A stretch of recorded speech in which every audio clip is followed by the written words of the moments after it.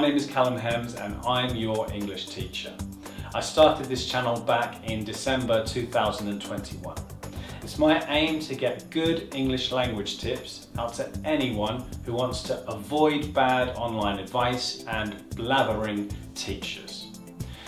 There's so much nonsense on the internet today that I believe this channel can be a go-to resource for you when you want to find answers quickly and without wading through stacks of information or listening to teachers prattle on about nothing. English is the lingua franca of the world.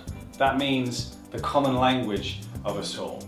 Knowing English will improve your travel experiences, your business growth, and possibly your love life. I've been teaching English for over nine years and I have seen incredible changes in the lifestyles of all of my students. It's been incredibly inspiring to watch them develop their language and achieve new things. Some have built relationships in their new language. Some have moved to different countries, some have received promotions, and some have even gone on to teach others. On this channel, I will make English language learning fun, interesting, and inspiring. You will learn new vocabulary, you will develop your understanding of English grammar, and you will work on your pronunciation.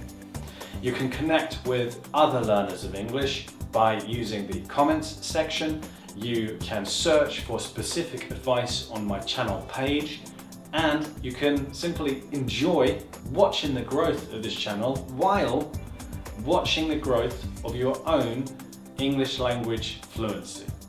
I believe that anyone can be fluent in English. All it takes is the desire to learn and the people to help you evolve. Grab a notebook and pen and jot down everything you hear which you want to commit to memory. Revise it as much as possible and try to start thinking in English. Work on your pronunciation when your vocabulary toolbox is large enough. Get out of your comfort zone and talk to whoever you can in English.